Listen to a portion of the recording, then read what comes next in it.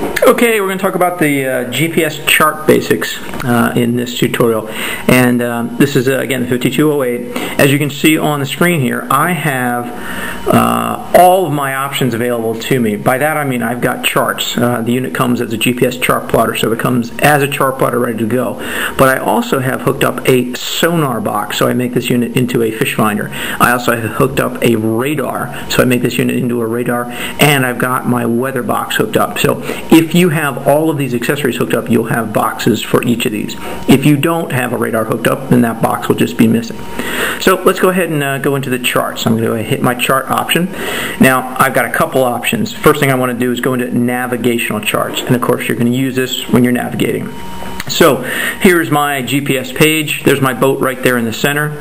At the bottom, if you can read this down here, it says 12 nautical miles. That's my scale. What that means is that that width, about the width of my thumbnail, is 12 nautical miles. And I'm looking at about, I've got about 10 of those widths along the bottom, so I'm looking at a very, very large area. If I want to zoom in and see more detail, then I'm going to hit the plus button plus, plus button is going to zoom down.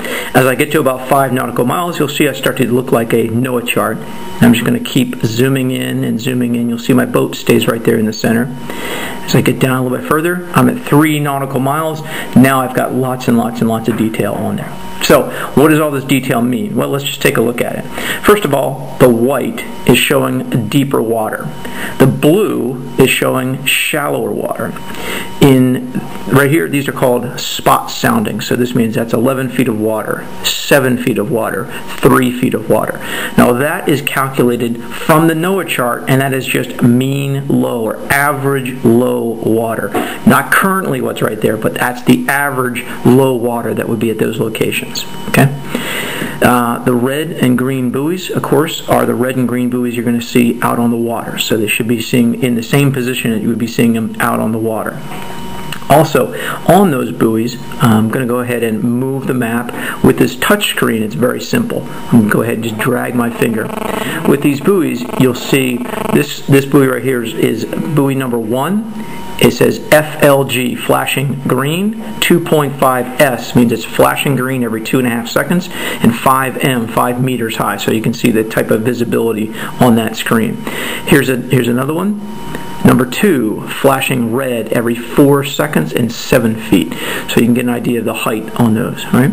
Here's a great way to see all the different buoys in there and the channels. You can see here the deeper water, the shallow water, and now the channel running into all these marinas. While we're right there at the marinas, let's go ahead and tab over. I'm going to go ahead and zoom in. You see all these uh, S's and T's over here. Let me show you what that means.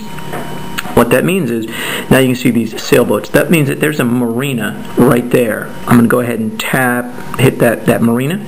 You'll see the, the uh, options pop up. That's Dinner Key Marina. I can get some information about them. If you want to get uh, some more information about that marina, what you can do is see the S button right there. If I tap the S button, actually gives me tons and tons of detail about that marina. So if I see, if I want to get information about Grove Key Marina, I tap the S for services and I tap on the right hand side marine services. Now this gives me a ton of information about that marina. Phone numbers what they offer. Do they sell beer? Do they sell gas? Do they offer uh, overnight slips etc if I want to navigate to it I've got my option. I can navigate right to it I'm going to go ahead and hit the back button so those marinas, those are built in to the, the machine. You do not have to buy anything else, and those are built right in. Another really nice feature here, if I can zoom in just a little bit, see this T, that is a tide station. This is critical, especially if you're in a boat with a little bit deeper draft. You want to know what the tide is doing right now. If you're in this marina, you want to know what the tide is, just hit the T for tides.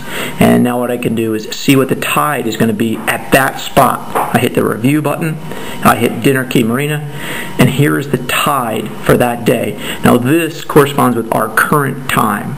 Um, here's a high tide, a low tide, a second high tide, a low tide. So right now we're almost at dead low, and the tide will be coming back up.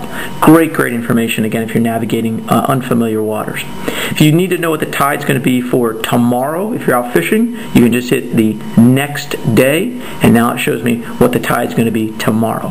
If you want to change the date and see what the, the tides are going to be in a week or a month or in a year, just go and hit the change date feature. Really nice.